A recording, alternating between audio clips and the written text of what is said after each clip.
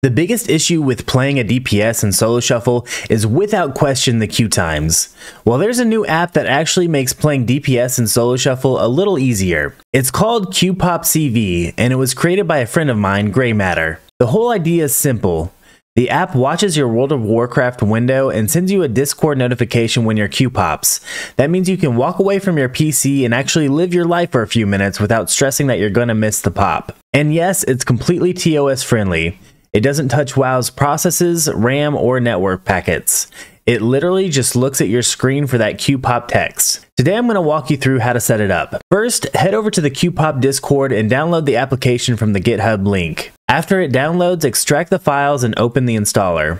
Since the app isn't a verified Windows program, you may need to click more info on the warning dialog and click run anyway. The good news is the full source code is publicly available, so you can check it yourself if you want to be extra sure it's legit. Once you've got it installed, you need a screenshot of your Solo Shuffle QPOP. The easiest way is to hop onto a healer for the instant queue and just grab a screenshot of the words solo shuffle all arenas when the pop appears. That text is what the app will be looking for. Back in the app, click add reference image and upload your screenshot. Next, you'll need your Discord user ID. This is how the app pings you directly when your queue pops. To get it, open Discord, go to your user settings, scroll down to advanced, and toggle on developer mode. After that, click on your profile, copy your user ID, and paste it into the app. Hit save config, then run a test connection to make sure you see a test notification appear in the QPOP Discord. Once you've done that, you're ready to go.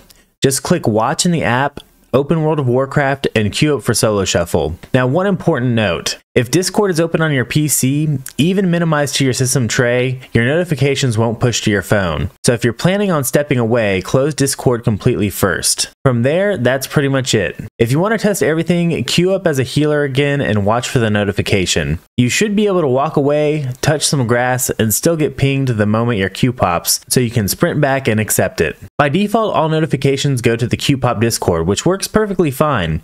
But if you'd rather have them sent to your own Discord server, it's super easy to set up a webhook. Just go to a server you own, open the server settings, go to integrations, then webhooks. Create a new webhook, name it whatever you want, Choose the channel it posts in and copy the webhook URL. Paste that into the QPOP app, save your config, and you're done. It's always a good idea to test it again just to make sure. And that's everything. A huge shout out to Graymatter for building this. Seriously, it's such a massive quality of life improvement for anyone playing DPS and Solo Shuffle. Enjoy the freedom, enjoy the notifications, and good luck in your games.